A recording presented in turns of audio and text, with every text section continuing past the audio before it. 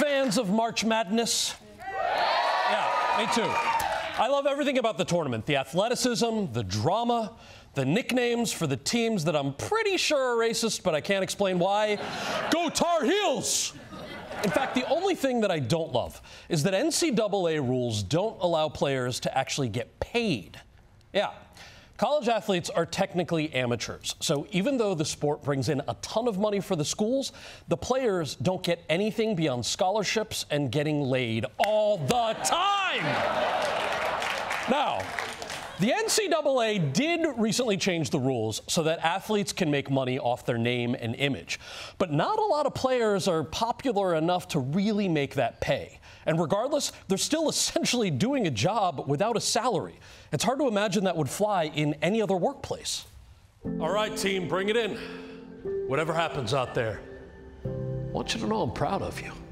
I see you. You get worn down, you get injured, you get yelled at by strangers, but you still show up every day and you give it 110%. And best of all, you do it for the love of the game without even getting paid.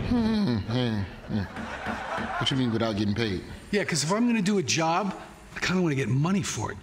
And soil the purity of amateur construction work? We're building real buildings, right? Yeah. Are people paying real money to live in those real buildings? Oh, yeah, the real estate company makes a fortune off your buildings. Okay. So how does that make us amateurs? The fact that you don't get paid, g- keep up. If I'm not getting paid, why am I working? To showcase your talent so that someday you can get hired for a paying job. To do this exact same thing. Yeah, because if other people are already getting paid for doing what we do, then we should be getting paid too. Yeah. Wow. Wow. You know, that kills me. That kills me to know that, that, that it's all about money for you. But you know what? That's fine. From now on, you can license your name and your image. Who would want to pay for stuff with our image on it? Don't sell yourself short. Any one of you, you got a face, you got a, a body like a professional model, you could make a lot of money that way. Isn't that right, Tommy? You know what? I think you're right, coach. If you're not getting paid, then we shouldn't be getting paid either. Oh, no, no, no, no, no, no. I'm getting paid.